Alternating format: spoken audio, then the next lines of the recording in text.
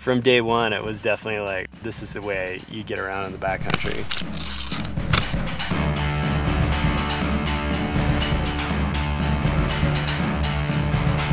I get to put everything that I like together. It's my livelihood, it's my favorite hobby, it's my passion, as well as like I just love being out in nature. It's so restorative.